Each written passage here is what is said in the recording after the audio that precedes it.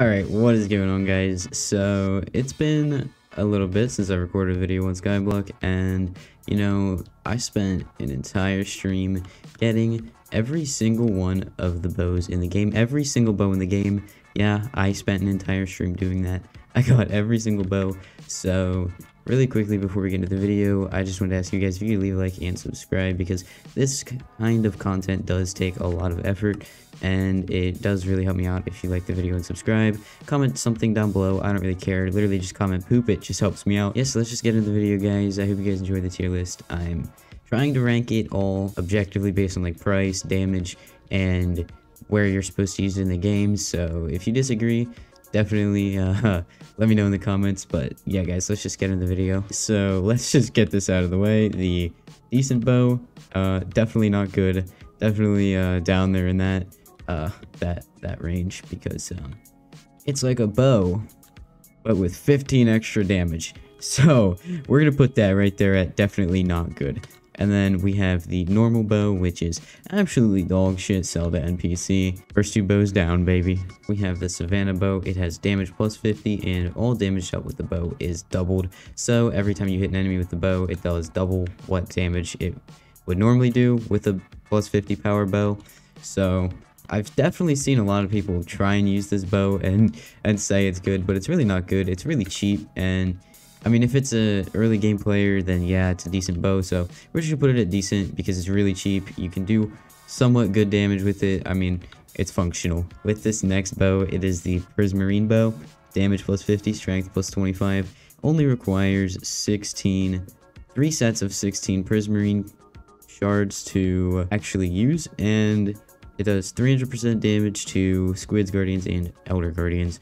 Um, it's the only bow in the game that can shoot sea creatures, so I guess I guess we'll just put it in um, kind of not good because it's it's pretty impractical. There's no reason you should be having to bow sea creatures, and if you do, just uh, uninstall.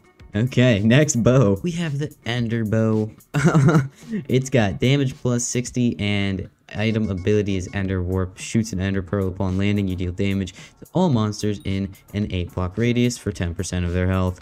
This bow is pretty much useless. Um, the Savannah Bow out damages it. The item ability costs 50 mana and has a 45 second cooldown. This is this is uh this is absolutely dog shit sell to NPC. Don't get this bow. It's not good. It's really, really not good.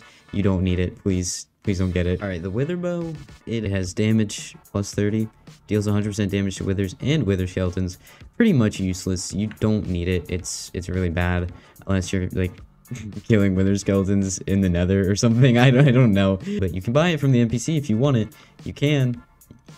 It's something you can do. Don't do it, though, please. so we're just gonna put it in, uh, what do we think? I think, uh, definitely not good. Definitely, it's gonna it's gonna go in definitely not good, guys. That's where it's gonna go. Actually, I changed my mind. It's it's gonna go in absolutely dog shit sell to NPC because it's bad. It's really bad. Next, I wanted to do the basic bows that you get from dungeons, so the ones that you get from drops. I'm not 100% positive if I actually got all of them, so if I did miss one, please tell me. First up, we have the Undead Bow. It's You buy it from the Dungeons NPC, so three of these you get from the Dungeons NPC, three of them you get from drops in dungeons. So the undead bow is it's useful as a bow in dungeons if you're an archer and you're just starting off. So I'm gonna say it's decent because it it really does help you out. Um, it really does help you out if you're just starting off dungeons and you're an archer. So yeah, it's decent. And the next bow is the super undead bow, which is basically the undead bow on crack, and it has the ability where your arrows have a 25% chance to bounce to other targets after it hits something, so it's good. It's a good bow. It's really good inside of dungeons. You can use it inside of dungeons probably all the way up until floor 5 for a really long time, and it's only 800k. You only need catacombs 16 to use it, I believe, so yeah, it's a pretty, it's a pretty useful bow. Alright, so the death bow. This thing is actually insane. It has a 50% chance to bounce to another target after it hits something, so it's basically the super undead bow on crack. So we're gonna put it right in front of the super undead bow. The death bow is really, really good, and it it even Oh my gosh. It spin, there's not much else to it. You get higher chance to hit other targets, and you get 80 extra damage. What is there not to like? Like I said, these next three bows are the bows that you can get from drops in dungeons. If I missed one, please let me know. But we have the rapid machine gun bow, which inside of dungeons as an archer, or even a berserker to just pop the left click ability, is good. It's it's a good bow in my opinion. It, it has good stats. If you get an epic one, five star it. You can just use it as a uh, ability for a little bit of extra damage. So then we have the rich soul stealer bow which is it's a it's not that really useful as a bow but it, outside of dungeons if you put rich on it it gives you a lot of intelligence but honestly it's not that practical inside of dungeons. And it's really easy to get though so we're gonna give it a, a, decent ranking. The sniper bow. Oh there's there's there's nothing to say about this thing. It's just it's it's bad. It's dog shit. Salvage it. It's just free undead essence. That's literally all it is. So now we're gonna get into more of the commonly used bows, the most common bows, just like the the meat of the bows in Skyblock. So we have the Endstone bow, which at first sight doesn't seem to be that good, but its item ability, I know a lot of people abuse that to get not a lot of damage, but like it's it's decent. Just put it in decent. Actually, no, we'll put it in kind of not good. So then we have the Scorpion Bow, which a lot of people don't like this bow simply because it's a little bit outclassed by other bows, but I feel like you can do a lot, a, a lot more damage than people actually think you can with this. So I personally used to use it for Slayers all the time, and its item ability is pretty pretty good if you don't have that much damage. So it's it's only about 2.5 mil. It's pretty cheap nowadays. So I'm going to put it in good, and that's definitely some personal bias there, but you're going to have to deal with it. I'm sorry. Now we have the Magma Bow. This bow is incredible. This is the probably best bow for its price. Literally under 1 mil. You can craft it really cheap, and you can put precise on it, just like every other bow, but it's really freaking good. It's a uh, very doggy, very doggy, very dog, very poggy woggy doggy champ, according to me who built that sign. Alright, so next up we have the bow that everybody hates, and personally I hate it too, so bang, dog shit, to NPC, nobody likes that bow. Next up we have the slime bow, also not very good. Uh, actually has a decent amount of damage and crit damage though, so we'll put it in definitely not good. Couldn't use it at all. I almost put it in kinda not good. You know, I'll put it in kinda not good simply because of how much damage and crit damage it gives you, but, you know, it, eh, eh, eh, not that good. Next, we have the Hurricane Bow, the bow that you're gonna want to get right before you get yourself a magma bow. I don't even know if you want to get this before a magma bow, but I do know that it's really good in dungeons for abusing mana, so you can get yourself a lot of mana for that. I don't know if people still do it, but yeah, you just basically would just spam right click with it and you would get a ton of mana because you would hit it five arrows on the enemy at once, so it was really good. But going into the next bow, we have the Rapid Runaan's bow. The Rapid Runaan's bow, or whatever reforge you put on it, is the cream of the crop bow in Hypixel Skyblock. The magnum opus of bows in Hypixel Skyblock.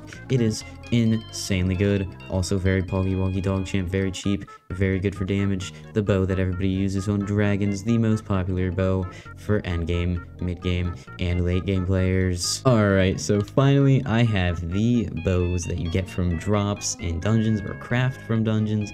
They are the best bows in the game, basically. These are the four best bows in the game.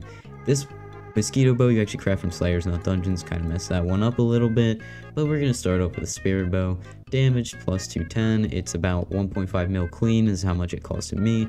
You can use it as a ghost, and the Spirit Bomb ability, obviously, which not that good, but as a base bow itself, it does a lot of damage in dungeons. It's, um, it's good. It's good.